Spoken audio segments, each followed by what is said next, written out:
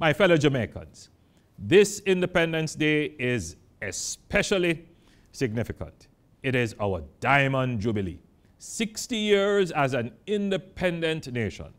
We celebrate under the theme Jamaica 60, reigniting a nation for greatness. Now, while we cannot allow the current global crises of a pandemic, war, and inflation to dampen our mood, the government is mindful of the hardships our people are currently experiencing. Therefore, our celebrations must give hope, be meaningful, and uplifting. At 60, there must be reflection, introspection, contemplation, and prospection.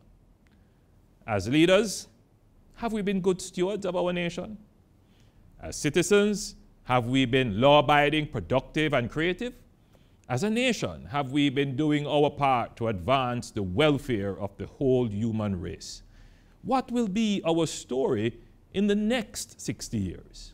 We reflect on the unfurling of the black, green, and gold on August 6, 1962. A glorious time it must have been, filled with high hopes and great expectations. The culmination of over 450 years of struggle from enslavement to emancipation to nationhood. As we began to chart our course on the journey as an independent nation, we would meet with many successes and nationally fulfilling moments. Still, we would also encounter real challenges on our journey. As we contemplate our journey, we must come to grips with our pathway. We are a small island, an open economy, geographically at risk of natural disasters. Our history is one of struggle to secure rights and social justice, particularly for labor and land. Generally, throughout our history, our economy has never been diverse enough to absorb all our labor with meaningful wages. And we have not been resilient enough to recover quickly from shocks. Now, politically, we have made significant progress in developing the framework to address our social issues. There's no question that we have a robust political class that can generate policies and a solid civil bureaucracy to implement them efficiently. The challenge has always been to develop an economy that can support and sustain our social development ambitions while withstanding shocks. In retrospect, it is true that as Jamaicans, we have not always made the connection between our economic and political choices. For decades, we have made political decisions inconsistent with good economic thinking, which have had disastrous social consequences. The perfect example is the buildup of the national debt over several decades. Certainly, external events such as global recessions and natural disasters would have pushed governments to borrow. Notwithstanding, we have created crises of our own, like FINSAC, or allowing inefficiently run state entities to continue without intervention, which has driven up the national debt.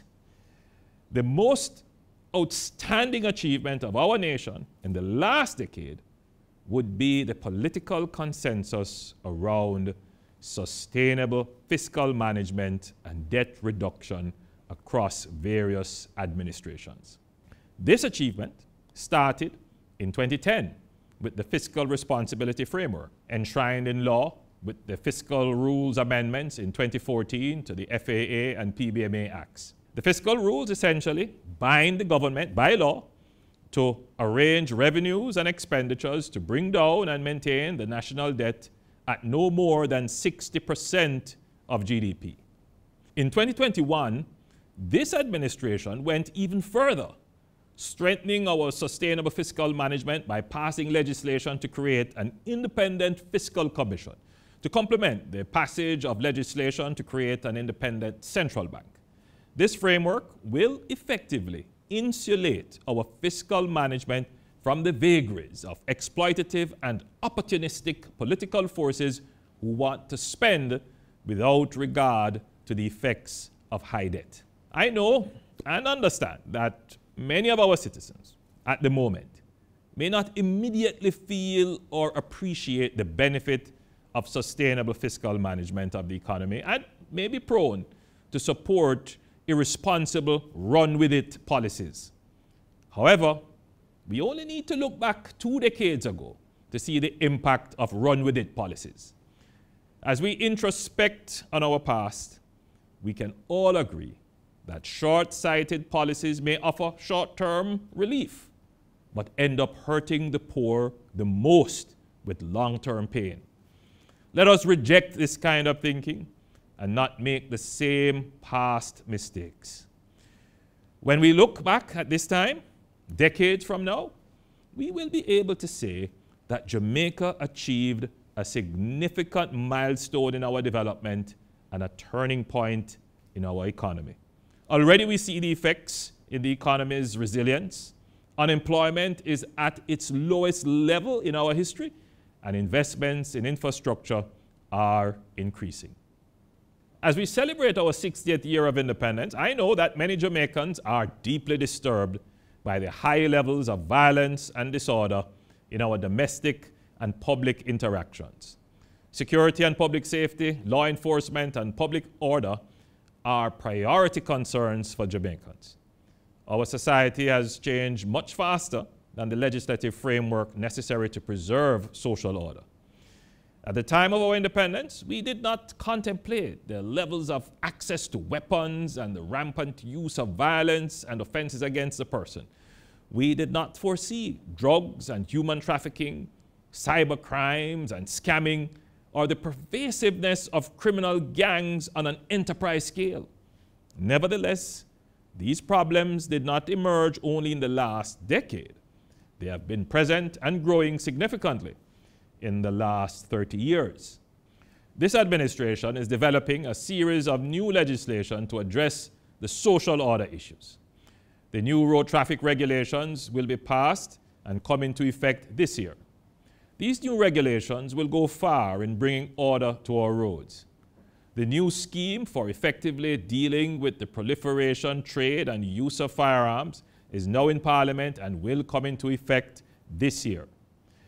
This new legislation will change the risk reward factor by significantly increasing the penalty for possession and use of illegal firearms. We will have a slate of new protections for our people, starting with a new Bail Act, an Enhanced Security Measures Act, and a revised Zone of Special Operations Act. We will also review the Offenses Against the Person Act, the Sexual Offences Act, and the Domestic Violence Act. All these will create a robust and modern framework relevant to the issues at hand to secure social order. The eternal struggle for land and shelter ownership is a point of contemplation as we consider 60 years of independence. Your government has committed to creating 70,000 new housing solutions for first time homeowners. In the last seven years, we have more than doubled the housing units brought to market. However, we recognize that the actual unfulfilled demand is for housing units at a price point that low income earners can afford.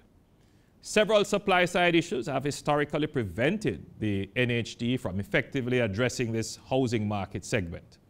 However, I am pleased to report that we have redirected the NHT and the Housing Agency of Jamaica to focus almost exclusively all their efforts on affordable housing.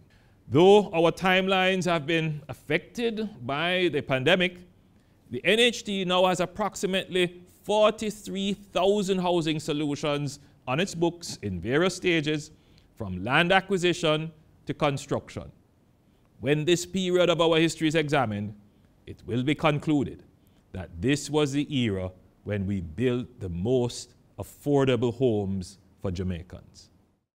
We cannot be prospective about our independence without talking about education, especially given the high levels of learning loss due to the pandemic. We now have the report of the Education Transformation Commission, and an oversight committee has been put in place to monitor the implementation of accepted recommendations.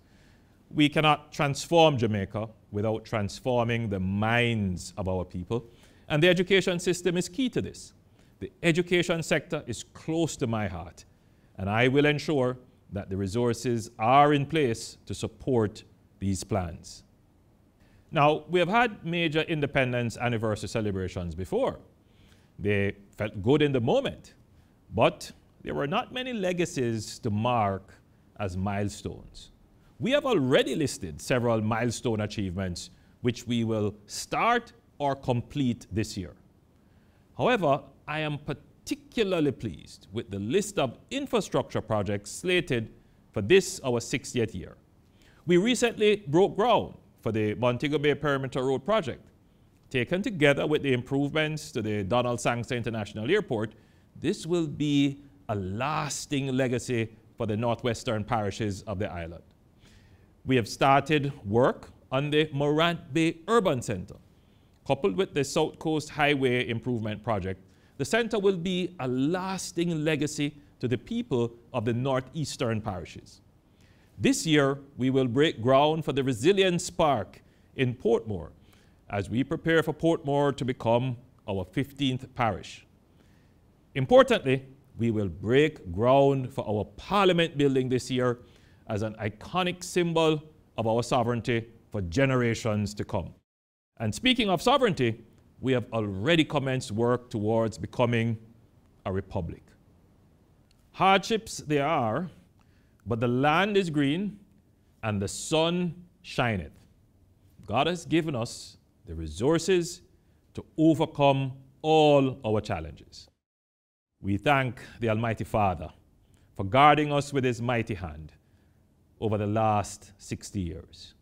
We pray for his continued blessing and guidance in our affairs as we look to a future of hope and prosperity. I look forward to the return of the floats and to see you again in the National Stadium for Grand Gala. Happy Independence, Jamaica. May God bless you and may God bless beautiful Jamaica, land we love.